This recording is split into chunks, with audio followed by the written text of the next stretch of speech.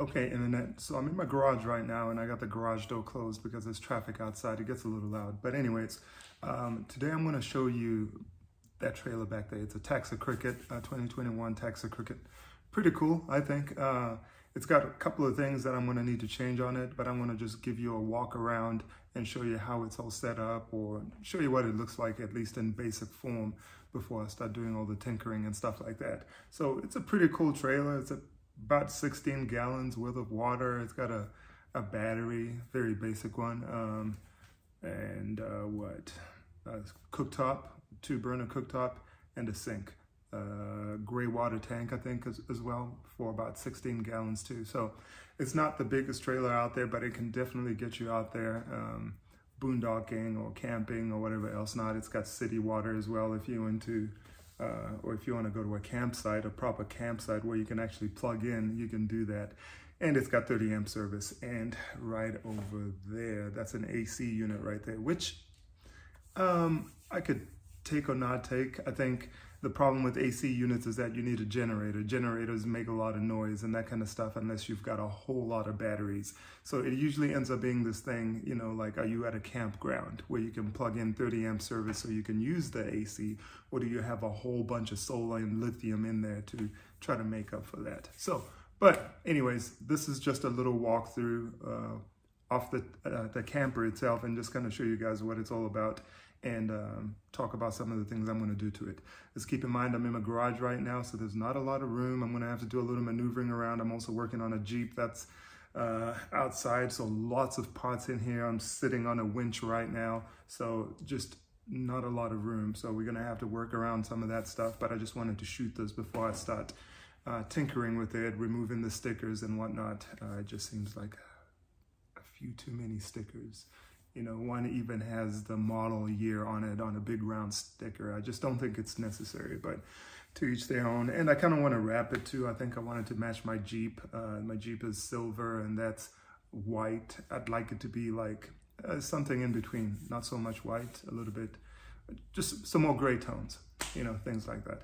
But uh, let me stop rambling and uh, kind of show you what we got. All right, so I'm gonna try to go up here. So this is my Taxa Cricket 2021 model. Um, yeah, and it's in my garage. So that's one cool thing about it. I wanted to go with an Airstream, but uh, uh, an Airstream would not have been able to fit in this garage. This garage door is about 93 inches, 94 inches about. So this was able to clear just fine. Not in its current open state. As you can see right now, this is open, the pop-up is up. So not in that current state. And as I have found out, you cannot open the garage door while the pop-up is up. So I do have to put that down before I uh, show you what it looks like with it closed up. So if you're looking at the top, you can see that it's got uh, a Thule roof rack, a Thule roof rack system, which you can option it out with that. And um, I've got some bike racks, which you see right there on the corner, some bike trays, uh, Thule as well. Three of them right now, four can actually go on that. Um, so that's the AC unit that you see right there, which works when you're plugged into shore power. And that's 30 amp service right there. You can see I'm just plugged into my garage using a dongle. All right. Um, what else on the outside? It's got a heater and um, we'll look at that when we're inside, but big garage door on the back that kind of flips open like that, which I'll kind of show you. As you can see, there's not a lot of room to open it. So it's all going to be, there's tons of videos out there. If you really want to see something, you can go to Taxa Outdoors and they'll really give you a, uh, a real walkthrough. This is more about mine than it is about all the technical ins and outs off the, um, the trailer. Over here, I also have a fridge, which I just got. It's a Dometic C, uh, CFX 355IM which uh, I've got a video on that. and I'll have to post that. But um, so here's my Taxa Cricket. Uh, Frigidaire is the fridge. TaxaOutdoors.com is where you can go to see these things. And this is this is what I'm talking about about all the stickers, right? I mean, this is completely necessary. It's like I'm a big Taxa commercial or something. So I do need to get rid of that. But this is kind of cool. It kind of shows you all the different models. Uh, that you, no, I'm sorry, not the different models, but the different uh, configurations. This is the same trailer with the top down, and this is it with the top up. So that's kind of cool. But uh, uh, let's see. Uh, wheel size, we'll just start with that. So you're running 235 75 R15s. And, you know, I'm not sure. They actually have an overland edition of this, which just means that it sits a little bit higher. And again, I couldn't get that because I think that would interfere with my garage over there and being able to get it in here. But I am going to look at something like air suspension or something like that, where I can lower it and put it in the garage because it wouldn't be bad to have as much clearance on this as I do in my Jeep. So just so I can take it wherever my Jeep can go. Um, what else do we have out here? Out here we've got these little side steps right here. You can mount gear on that, strap it down. You know, all these are strap down points right there. So, and you can also stand on it to do stuff on the roof, put the bikes up and whatever else not. It's got four uh, stabilizers jacks right here, one on each corner. Um, and then we move up to this here. We've got the 30 amp service. Um, you can see it's on right now because it's got the little red light but I just have it downgraded to 110 over here or converted or adapted so I can plug it in in my garage. Uh, if I was plugged into city at a campsite, KOA or whatever else not, I can plug in my water right here, uh, my water hose, and uh, uh it takes up to 125 PSI, which seems like a whole lot because people usually uh, try to block such PSI from going into their systems, but so that's kind of cool that it has that uh, which is your hot water and furnace. is kind of like a combination thing, which is essentially the same thing that they use in the, uh, what do you call those things? Airstreams. So kind of cool. And then solar plug right there. And I actually have a Renogy solar panel right here, kind of like one of those uh, briefcase models. And uh, no, I do not have a lion here, but I do have a very big dog. And hence that bone. And this is all that Jeep stuff I'm working on. Uh, there'll be videos on that, but that's my factory plastic bumper replacing with a steel bumper and whatever else not. And that's all this stuff right here. Uh, but we're gonna try to maneuver around it. And uh, over here, outdoor shower, hot and cold. So that's pretty cool. So, and then uh, it comes with a shower tent, which I'll show you that's inside that you can kind of set up out here and do that. This, however, I found is pretty cool. This is the, uh, what do you call this? Auto brake, like auto is an automobile and uh, brake. So it's basically, um, um, what do you call that? Trailer braking system that you can use. So it detects when you've pushed on your brake in there because you sync it using these two buttons right here and then it syncs up with your uh, seven pin connection whenever you hit your brakes, it knows to also apply brakes on here. Pretty intelligent system, and I love that because I actually don't have trailer braking on my Jeep. So um, when I picked this up, it was actually very cool getting that set up. And it also has a key fob that you can use to manually apply brakes or, you know, release them. So super cool on that. Um, out here in the front is the the hitch system. Okay, so it just has a normal ball um, over here. The Overland Edition actually has one of those Lock-N-Roll hitches. So you can convert these, but they kind of have to cut it and then weld on a new piece and whatever else not. So, but Lock-N-Roll is pretty cool, especially if you're going to be driving off-road. Um, but I'll keep that on for right now, but that's a future upgrade right there. In here is, you got to twist these. So in here is the propane. So what I'm doing here is twisting these little knobs and then you flip it over. But there's two 20 pound uh, propane tanks in here and that's what you use for your hot water and for your furnace. So I'm still gonna find out exactly how long those will last for, but I did have an Airstream base camp before and the heating system does not use that much propane at all. And actually, you know what? I forgot to mention something in here. Uh, so let's get back in here again. So this is cool because this is actually selectable. So when you look in here, right here, there's a selector switch. So you can have it point to one direction where it uses that tank, for example, or in the middle where it kind of just uses both, or you can flip it all the way to the right one or left one, depending on your orientation, and it'll use that tank. What's cool, what I like to do is keep it at one side. That way when it runs out, you know that you still have a whole full tank to go. So if you just keep it in the middle, it'll drain both tanks and you're not gonna know when you're actually out. So I keep that on one side. And uh, close that up. All right, now maneuvering through these wrenches and whatever else not will take us to the other side. And I'm just gonna close this door right here. Okay, so once again, big unnecessary sticker right here, uh, 2021 Taxa Outdoors. It's like, okay, got it. Um, same thing with this sticker right here, but I'm gonna work on that. Uh, so this is the tent and this is from the front part. Up there you see the connection or the connection, the tie down or the system that you use to clip it into the, into the, into uh, towing mode or whatever mode, right? To lower your roof basically. So that just comes down and it hooks up over here. And, you know, people love to say this, this here says taxa um, if you're looking in a mirror or something like that. And that's also a bottle opener. Uh, so just a cool little doohickey. So not a lot of room on this side. Also working on a van project, trying to build a camper out of a van, so tons of wood in here. Um, I wish I had as much time as I have ideas, but I just uh, don't. So same thing on this side, a little step over there, uh, trailer or stabilizer jack over there, same kind of sticker situation.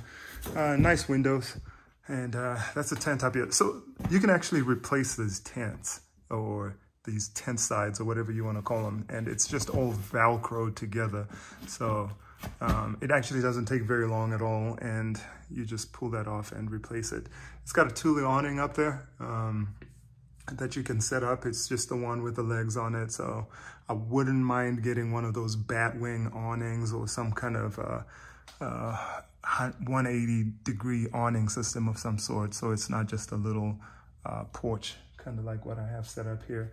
And then I'll bring you guys up here so you can see the Thule setup. All right, and that's it. And so now we're gonna open this door. Um, so let's take a look. Oh, well, that seems like it's locked now. I don't remember locking it. So let's see if we can find the keys in this mess. So I forget, did we talk about this fridge? Yeah, we did. That fridge actually goes in here, um, but I'm doing some work inside, trying to see how everything is all set up. So there's not enough room in there right now. So this, we'll just talk about this right now. So this is always very confusing. And I think Airstream, once again, and maybe some other RVs have the same locking system. One is the deadbolt, and then one is the actual, um, the latch itself to lock it so it doesn't open. So I never know which one is the latch and which one is the deadbolt. So it's always confusing to figure out, are you unlocked, are you not? So this feels like the deadbolt. And you just heard that unlock. Hmm, whatever, but so let's open it all up, all the way up. So, okay, so that's the deadbolt right there, and you can lock it from inside as well. Over here is a pretty cool system. That's how it kind of latches in so it stops it from uh, blowing in the wind. So uh, cool little system. And then we come in here. This is the window and it's got multiple modes on it, right? So you can have it all the way closed, night mode or incognito mode or whatever you want to call that. But you can then open it completely, all right? And then you can also do a kind of a sunshade, right? Over here, the windows also crack, you know, so you don't have to feel like you got to open the window all the way, which I actually did this one night when I was camping at a Walmart. I didn't want to have them completely open just in case somebody reaches in there and snatches me out or something. So I kind of had them you know, I don't know if you can see very well, but it's got a little groove in there where you can kind of position it kind of just cracked. And that's enough to kind of circulate air, which when you turn on the fan, because there's a fan up there, when you turn on that fan and you crack that window, air actually circulates like amazingly well. So it's, it's actually pretty fantastic that you can do that. So without doing that, actually, the fan kind of makes, it's a little bit louder because it's trying to suck everything out. That's if you've got it on vent mode, right? So super cool that they have that going on. In here, a little bit of a mess. Um, basically picked it up. Um, I slept in it. Um, one night I had to stop by Walmart, pick up a, a pillow. You still see the pillow over there. And um, there's a sleeping bag somewhere in here. But basically just try to make do what with what I had so I could make it home. Um, let's see. Uh, what are we looking at in here? So, okay, we'll talk about lights. So this is your light station or your electrical station right here. So I'm just gonna turn on a few lights before I get started so we can actually see what's in here. So I flip that open or flip that on and that's the light. And so that's that light over there. Over here, it also has some lights underneath and there's some lights on the roof, like for your, well, not on the roof, but for your awning that you can turn on using that switch right there. And uh, the fuses are in line right there. And uh, uh, more fuses. Then if we come over here, there's more light switches. So we can actually make it a little bit brighter in here. So we're just gonna turn everything on. So you can see that's another LED strip of lights over here. Um, and now it's a little bit brighter in here. So we'll just start at the front. Um, that is an addition. That's not really factory, but you can kind of, so you kind of have uh, electrical up here as well when you're plugged into shore power or you're running a generator using that 30 amp service out there. And this, of course, is just my plug for my laptop because I was doing some research while in here and uh, working at the same time. So um, this is your sink, nothing to it, hot and cold, and uh, it just flips up like that. So I have to, um, this here is, the screws out of this here are actually not done very well. So I, was, I took those out to try to see if I can find a different system that I can use to secure that.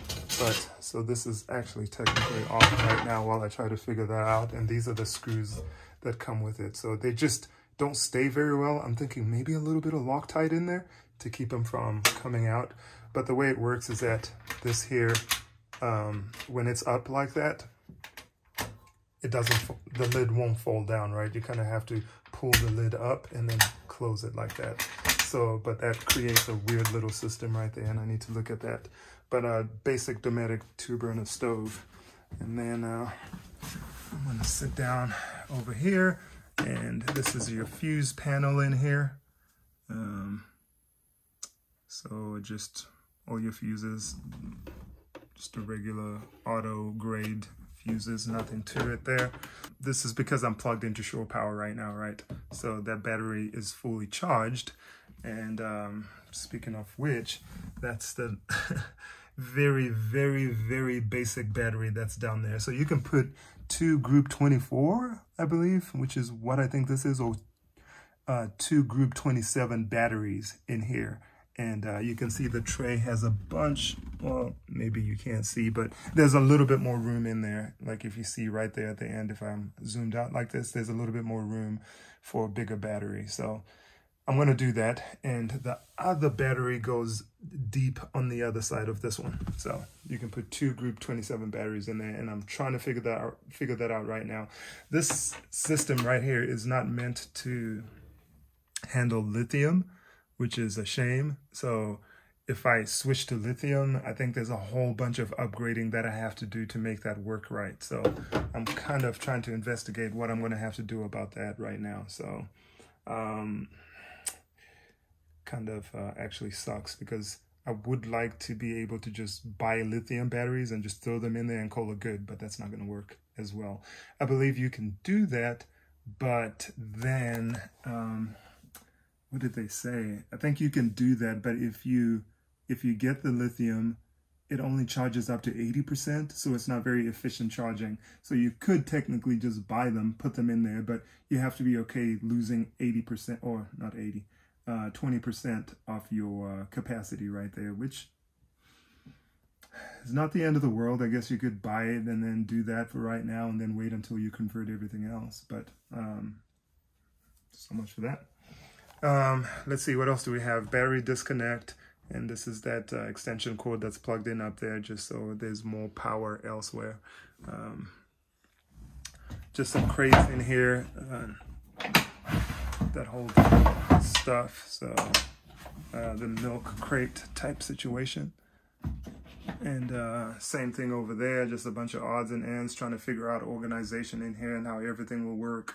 A hose, and then underneath there is one of those portable cassette toilet deal things right there. So fire extinguisher, um, some vents over here for your system. And this is that Truma system right here. And uh, like I said before, the um, Airstream has the same kind of system and it's pretty convenient the way it works.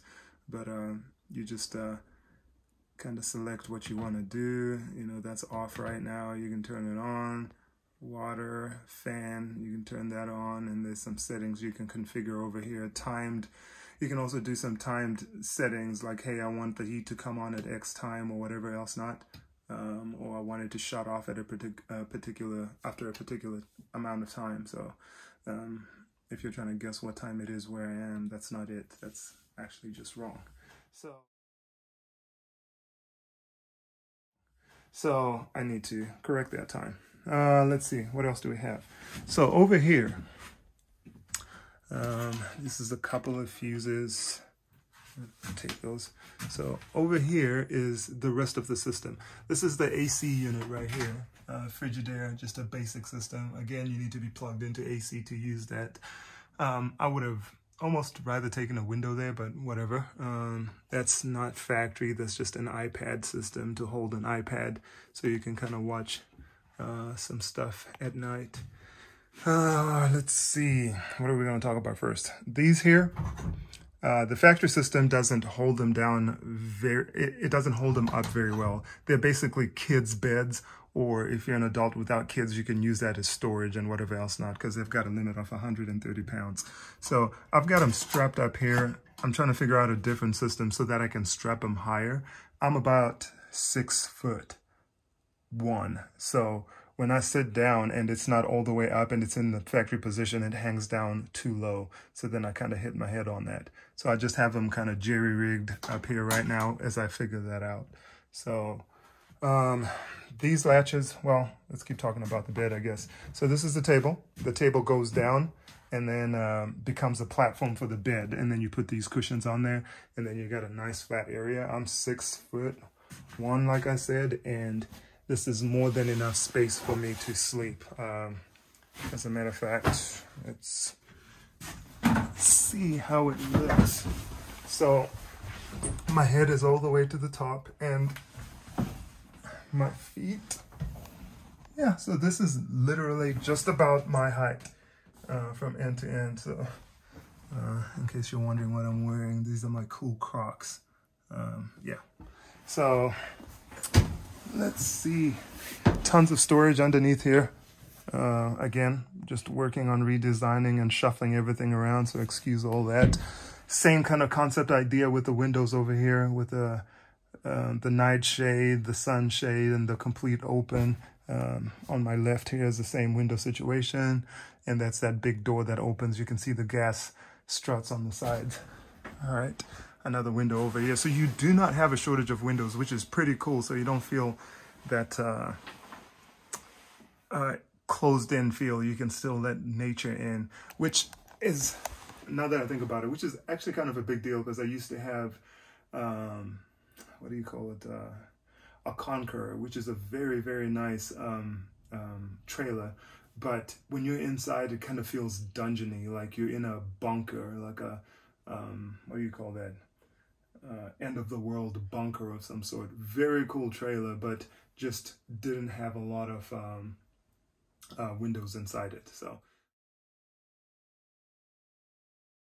So I like that this does have a lot of rooms, uh, a lot of uh, windows, and that, as a matter of fact, these tent openings right here, uh, actually you can zip that open and then there's netting in there. And so that's pretty legitimate. So you don't have a shortage of the, uh, of nature.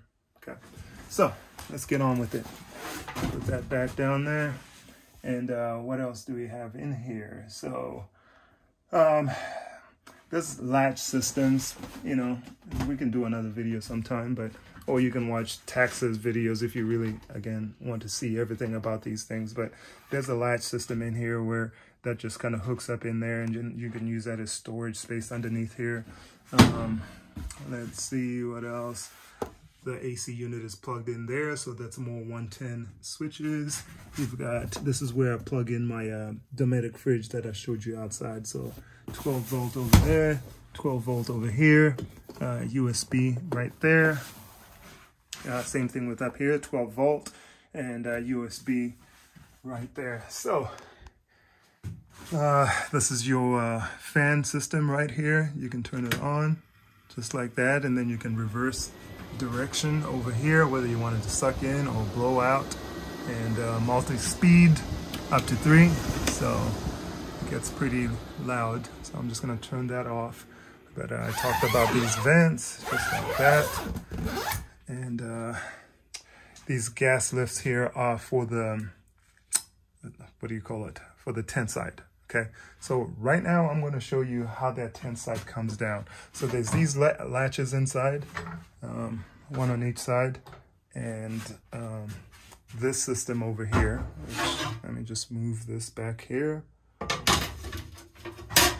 Okay, uh, this system over here that you use to actually lower and raise the roof. So this is me lowering it right now. And this would be me, this would be the last action I do after I unclip the brace outside and uh, these two inside.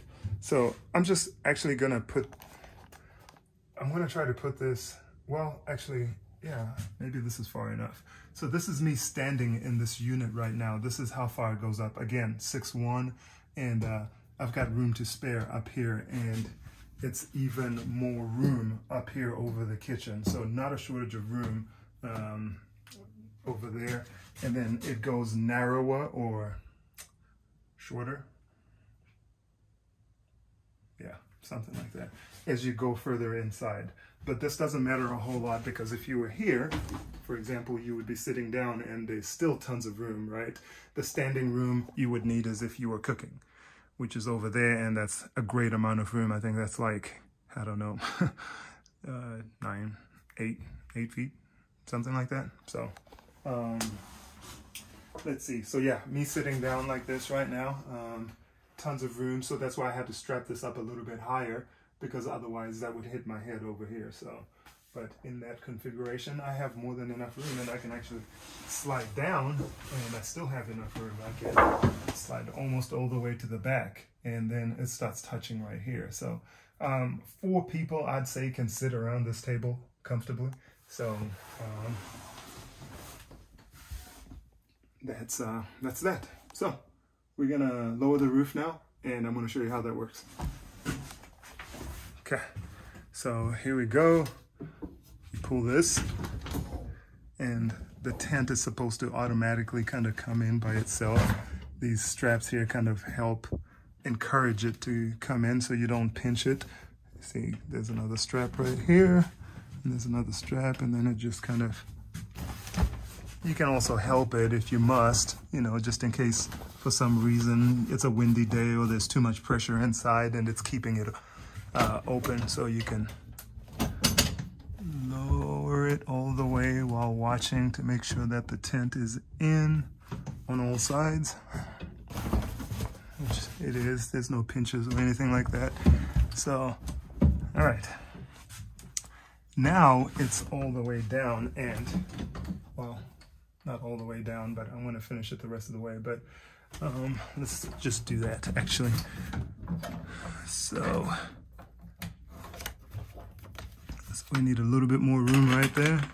So we will grab this,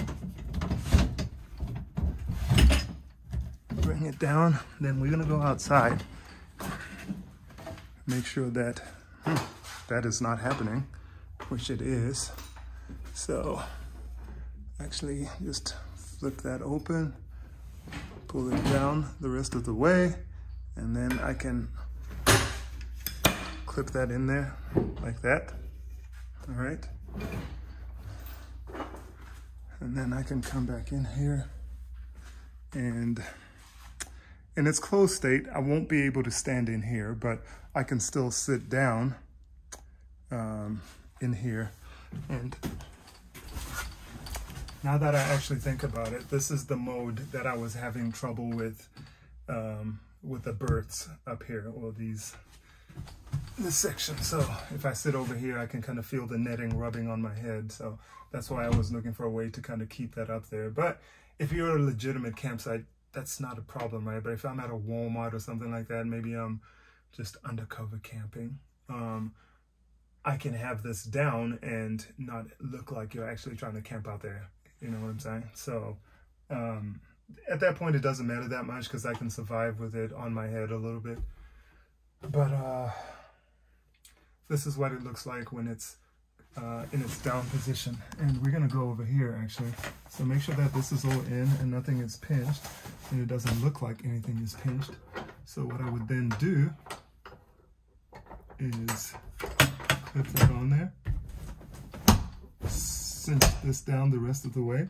There's a button here that you push and it kind of latches back there. So if I was to push this, this comes out and it releases that. So we're gonna do the same thing on this side. And put that in there.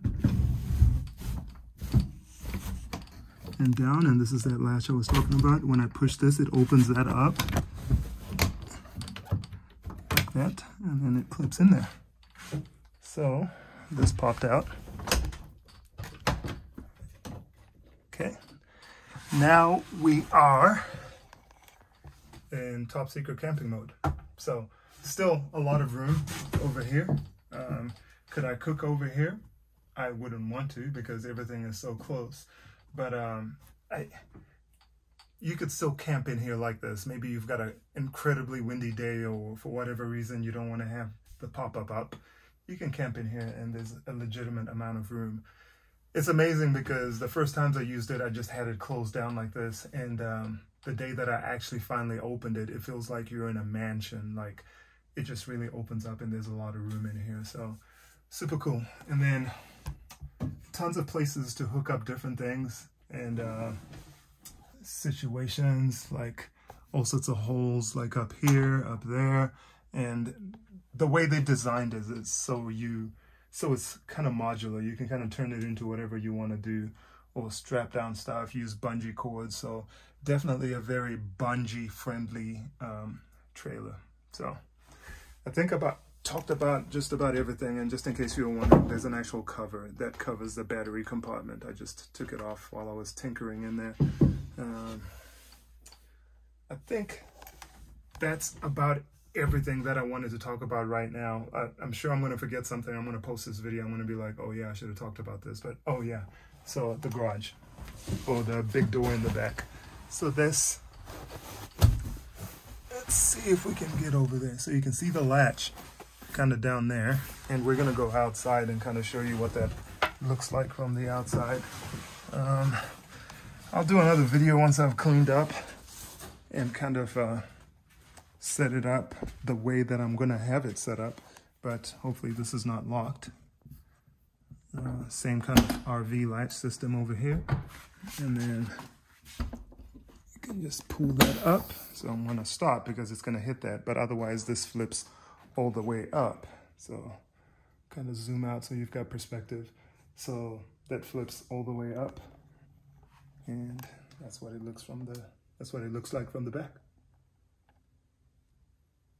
Okay. Close that. And again, says Cricket and TaxaOutdoors.com. Big commercial. So I'll need to get rid of that. Um, oh, let's talk about up here. So you can actually walk on this roof, right? Um, So you can step here and step there and step there and there, but not here or there or there. I'm just kidding. But anyways, uh, so you can step on the edges of this thing. So it's all fine. And then you can step on this strip right here that goes down the center. And so if you wanted to walk out there to do whatever, clean or some people have put solar panels up here, that kind of stuff. You want to maintain all that stuff. You'll be able to actually walk on that roof. So that's pretty cool. Huge windows as I fall backwards. Uh, huge windows over here. So actually pretty cool and uh, more of that bungee strapping situation up here. So um, honestly, that's about everything I think I am thinking about talking about right now. So I'm gonna stop this and I will post this as is. Uh, it's just a single shot video. Uh, my videos are not fancy. It's just, hey, here you go. Look at this. Um, I think that's everything I got for you guys right now. Hopefully you found this informative or somewhat useful. Uh, if not, just remember it was free and you didn't have to watch it.